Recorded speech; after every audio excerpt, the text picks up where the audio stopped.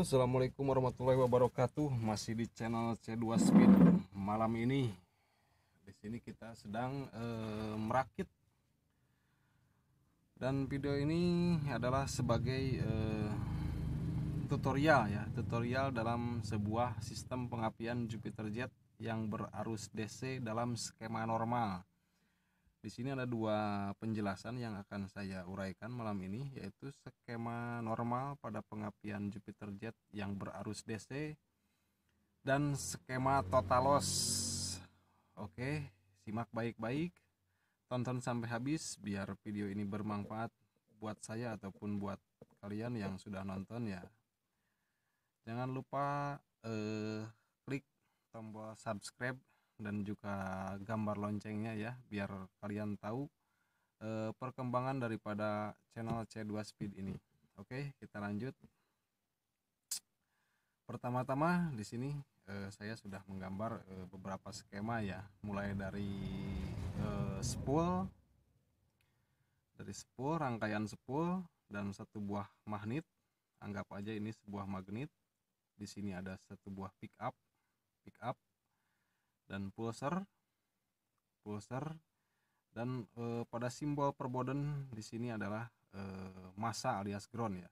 Ini masa masa masa dan di sini ada satu buah kiprok CDI kuil busi aki dan ini sikring ya. Anggap ini aja anggap aja ini sebuah sikring.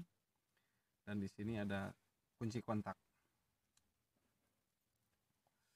bagaimana cara kerjanya bila dalam kondisi kabel body tidak dipasang ya untuk motor-motor spek road race atau bore up harian yang tidak menggunakan e, kabel body?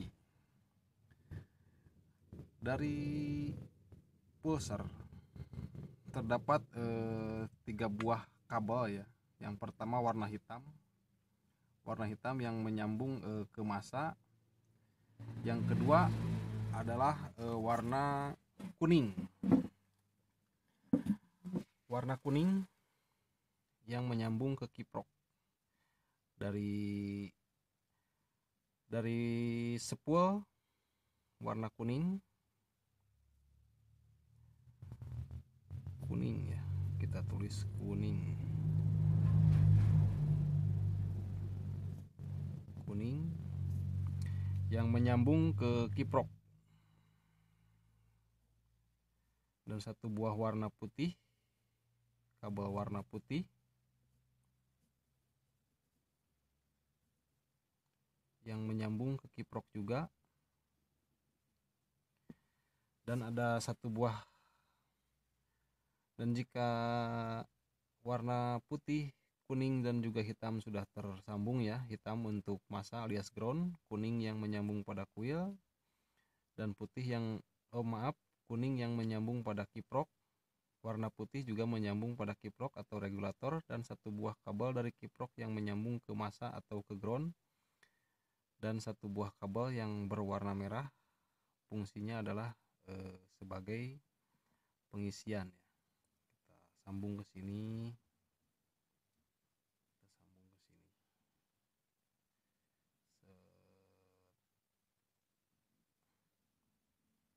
pengisian guys. Merah. Warna merah. Langsung menyambung ke aki. Jika semua sudah tersusun bagian sepul eh, dan juga kiprok lanjut ke bagian pulser. Pulser ini ada dua buah kabel ya dari pulser. Yang satu warna putih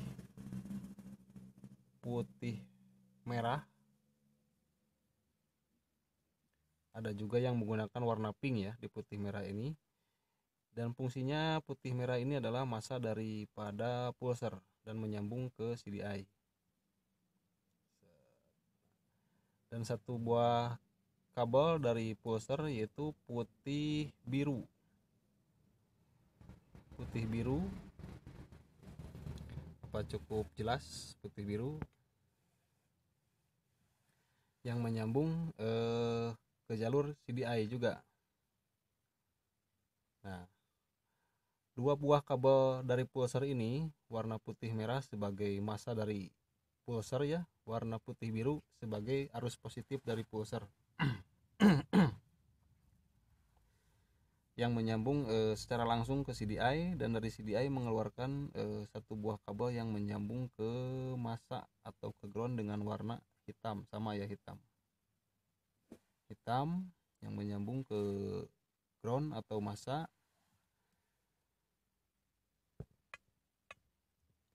biar agak sedikit jelas ya kita perbesar sedikit. Nah, oke. Okay. jika dua buah kabel dari pulser sudah tersambung kepada CDI dan satu buah kabel dari kiprok yang berwarna merah. Oh maaf ini bukan ke sini ya. Ini ke masa ini. Salah nyambung. Satu buah kabel warna merah dari kiprok menyambung kepada aki yang berarus positif ya. Sini. Ini masa ini ini masa alias ground dan yang merah ini menyambung ke aki ke pembagian yang berarus positif ya. Dan bagian merah ini kita ambil satu buah kabel lagi yang menyambung ke sikring. Masih warna merah juga sama. Warna merah.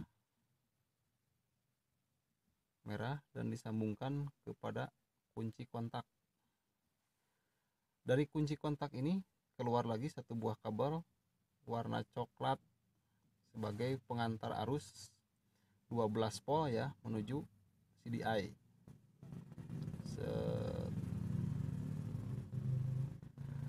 warna coklat menuju CDI dari kontak yang awal mula arusnya datang dari kiprok menuju aki dari aki menuju kontak dan dari kontak eh, ditujukan kepada CDI dan ada, ada satu buah kabel lagi ya yang dari CDI menuju coil warna oranye. Oranye. Warna oranye dan menyambung ke kuil maka akan keluar api dari kuil menuju busi oke kita ulang sekali lagi. Sepul dan kumparan magnet di sini mengeluarkan tiga buah eh, kabel dari sepul ya. Dari sepul ada tiga buah kabel dari sepul. Yang pertama warna hitam yang menuju ke ground atau masa kuning. Yang kedua warna kuning menuju regulator atau kiprok. Yang ketiga warna putih sama menuju regulator pada kiprok dan fungsinya sebagai pengisian. Warna kuning sebagai eh, pengantar arus untuk lampu ya. Dan dari regulator ini keluar satu buah kabel warna merah yang menuju pengisian kepada aki dan dari aki ini kita melewati satu buah sikring dan disambungkan ke kontak. Dari kontak keluar warna coklat yang berarus positif 12 volt menuju CDI dan dari pulser dua buah kabel dari pulser berwarna putih merah atau pink yang menuju CDI langsung secara langsung ya satu buah kabel putih strip biru yang arusnya e, positif dari pulser menuju CDI juga langsung. Dari CDI keluar satu buah kabel warna oranye yang menuju coil dan mengantar semua e, kelistrikan atau pengapian menuju busi dan dari baterai ini hitam masa ya. Dari kuil juga bisa dimasakkan digroundkan dari lubang bautnya ke mana aja. Yang penting bisa masa atau ngeground ya. Dan di situ terjadilah eh, api ya. Letupan api kepada busi. Dan untuk pengapian totalos kita bahas bagian totalos totalos ini ada beberapa keuntungan ya mungkin. Ada min dan juga plusnya pada eh, pengapian totalos ini eh, kekurangannya adalah eh, mungkin totalos agak sedikit kurang ya di putaran atas dikarenakan eh, balancer atau magnet seolah-olah dibuang atau diganti dengan yang lebih ringan. Namun untuk putaran bawah eh, tenaga sangat eh, meronta-ronta ya atau ngejambak istilahnya di putaran bawah namun di putaran atas sepertinya agak kurang. Oke kita langsung aja kita bikin eh, satu buah lempengan pengganti magnet ya dengan diameter sama besar dengan magnet dan tambahkan pick up ya pick up atau untuk pantulan pada pulsar nanti. Di sini hanya mengeluarkan dua buah kabel dari pulsar yaitu warna putih eh, putih merah atau pink ya yang saya uraikan di skema sebelumnya dan satu buah warna satu kabel warna putih biru sebagai penghantar eh, arus positif dari pulser seperti biasa yang putih biru ini menyambung langsung kepada CDI yang putih merah atau pink sama juga langsung menyambung kepada CDI dan dari CDI tidak lupa ada satu buah kabel warna hitam yang menuju masa alias ground. Masa ini sangat penting. Masa alias ground.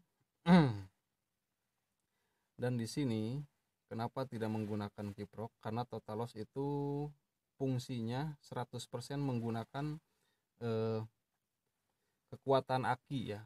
Powernya itu semua berada pada aki karena tidak ada tidak adanya pengisian atau e, pembantu kelistrikan lainnya hanya menggunakan aki karena di bagian magnet magnet dicopot dan diganti dengan sebuah lempengan yang dimodifikasi tanpa adanya sepul.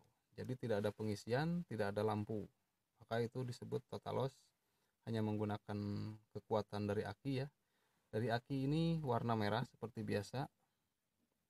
Mau dipakai sikring atau enggak e, enggak apa-apa langsung aja ke kontak dan keluar dari kontak warna coklat. Coklat seperti biasa yang langsung menuju e, CDI dan dari CDI keluar lagi satu buah kabel warna oranye sebagai penghantar ke kuil. Dan dari kuil ini harus di ground kan ya pada bagian lubangnya sebelah mau yang mana aja bebas. Di ground kan ke sini. Maka akan e, menghasilkan letupan api kepada busi. Oke satu kali lagi. E, dari kumparan ini setelah dicopot ya pulser dan magnet kita buat satu buah lempengan menggunakan pick up yang tujuannya untuk memantulkan e, sinyal kepada pulser yang langsung dibawa ke CDI melalui dua buah kabel warna putih merah atau pink dan putih strip biru ya dari CDI satu buah masa dan satu buah warna oranye untuk menyambung ke kuil dan dayanya itu termasuk dayanya hanya dikirim oleh aki ya yang berwarna merah melalui sebuah kunci kontak dan dari sebuah kunci kontak dikeluarkan dengan warna coklat yang menuju CDI. Oke, semoga bermanfaat tutorial ini. Silahkan bertanya-tanya bagi kalian yang kurang paham. Terima kasih, terima kasih yang sudah nonton. Jangan lupa like, share, atau subscribe ke teman-teman kalian. Jangan ragu untuk mencoba. Silahkan untuk bertanya-tanya di sini. E, dan untuk kalian yang sudah berwawasan lebih, silahkan tinggalkan saran kalian di kolom komentar.